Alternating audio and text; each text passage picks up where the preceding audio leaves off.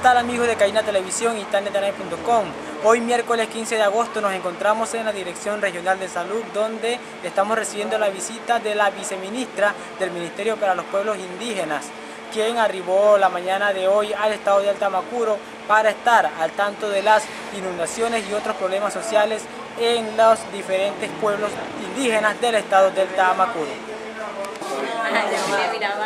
Bueno, efectivamente el día, desde el día de hoy estaremos aquí en el estado del Tamacuro, del municipio de Tucupita, donde estaremos abordando diferentes temas. Ah, más que todo, eh, articular y llevar una coordinación a nivel institucional, como Estado, como gobierno, es una tarea que nos ha pedido nuestro presidente Nicolás Maduro, la ministra Loa, que también está y en conjunto con la gobernación, alcaldía y entre otras instituciones que representan el gobierno. Y aquí, bueno, vamos a haciendo mesa de trabajo que seguramente surgirán varios, varios vértices para el tema en cuanto al tema lo más álgido que tiene que ver con salud, alimentación, educación, entre otros. Y todo lo que tiene que ver con el área social en cuanto a la atención de los pueblos indígenas del pueblo Guarao.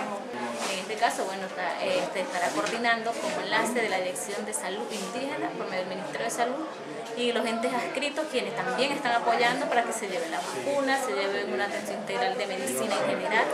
porque sabemos que ahorita la temporada de las lluvias esto nos va a traer a nosotros algunas consecuencias por el tema de la contaminación del agua, algunas enfermedades como el paludismo. En este caso, bueno, por eso es la presencia de todo el equipo en conjunto con, con todo el representante del gobierno,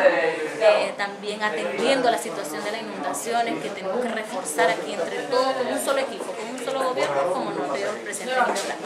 ¿Cuántos refugiados está atendiendo el ministerio? El ministerio hasta ahora me ha reflejado que bueno, tenemos diferentes puntos, se han desplegado algunos funcionarios públicos para reforzar,